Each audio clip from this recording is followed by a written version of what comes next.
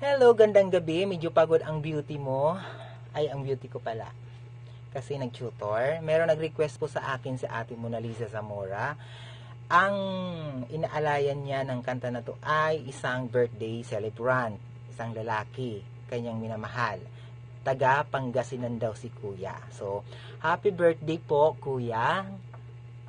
Ah, kuyang Pogi. Kasi birthday mo ngayon, July 14. So, ang kanyang kanta ay Naglahong Ligaya. Nebert, Nebert Dominic. Medyo matanda na yung kanta.